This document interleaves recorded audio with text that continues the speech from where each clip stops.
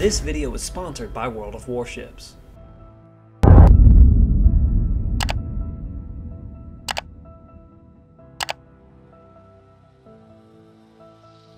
Coming up, with the Soviet Union getting desperate to stop Hitler's advance in the East, a groundbreaking new type of unit was formed.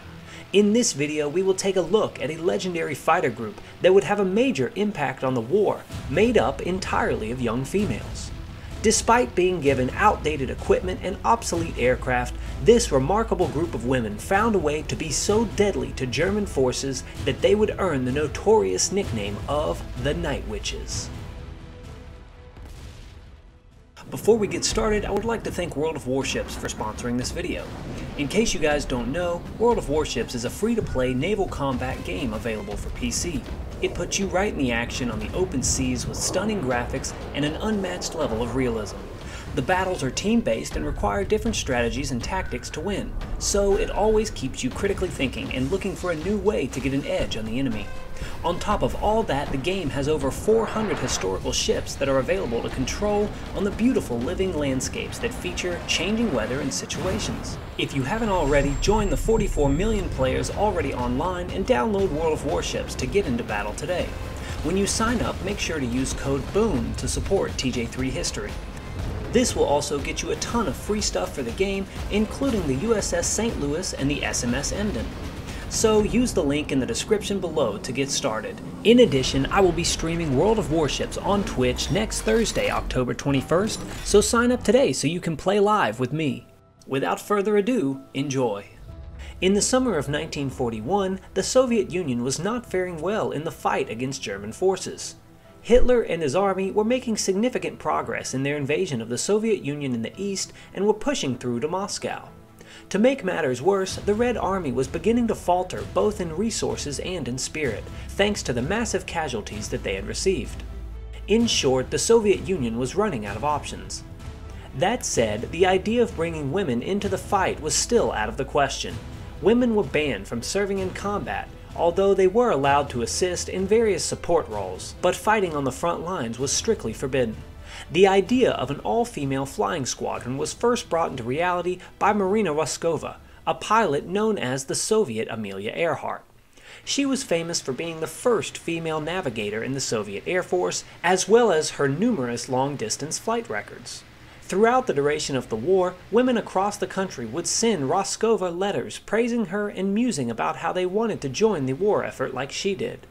Although women were allowed to fly in the forces for support roles, they were banned from being gunners or pilots that could fly on their own. These women had been forced to watch their loved ones go to war and their villages flatten to ash. They no longer wanted to sit by and watch idly. They wanted to instead join the fight. Roskova picked up on their determination and saw an opportunity to present the idea to the Soviet Union's own Joseph Stalin. Noting Roskova's rank and reputation, he approved her idea on October 8th of 1941 and allowed her to form the Red Army's first female fighting squadron.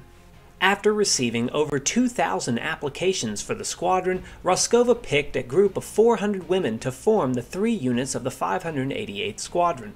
The women were young, aged between 17 and 26, and many were students. Their equipment was also questionable at best. The Red Army did not have time nor the budget to prepare for women pilots, so they were issued used men's uniforms, including boots that were so oversized that many of the pilots had to stuff them with torn bed sheets to get them to stay on properly. When it came to their planes, that was another problem in and of itself.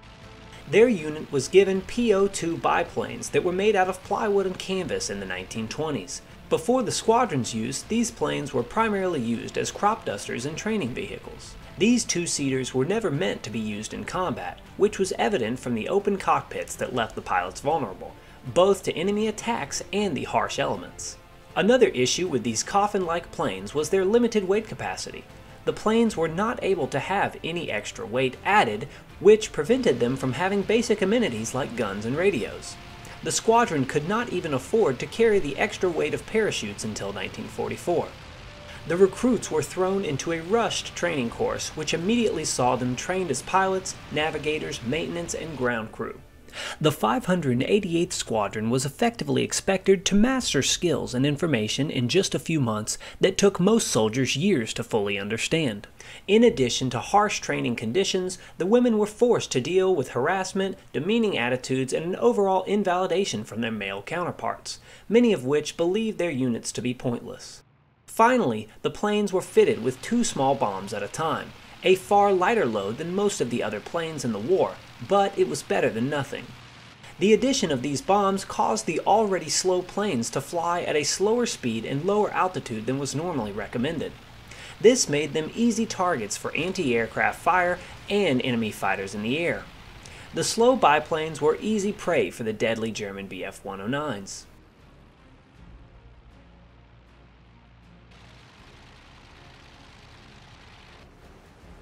In an effort to combat this, while being efficient with their time and resources, the squadron opted to attack at night instead. The regiment had 42 person units to participate in these night raids. They were expected to complete between 8 and 18 missions every night, and they had to work through rigorous conditions which called for them to fly back and forth to rearm their aircraft after each run.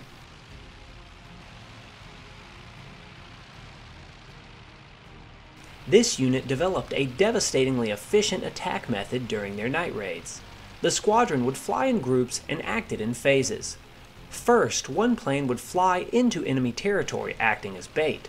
This would cause the Germans to shine their spotlights on the plane, illuminating it and the surrounding area, something that was vital for the squadron's success. Immediately after this, the other planes would cut their throttle so they could move quietly and undetected behind them. They would then glide through the night air and release their bombs over the target. These tactics were deadly and wreaked havoc on German forces time and time again.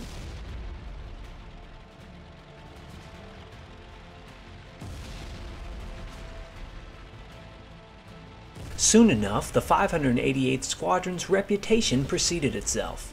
Night attacks that were this deadly and this quiet were uncommon. In addition, there is a certain level of mental strain that came with being attacked at night and helped make these missions even more effective.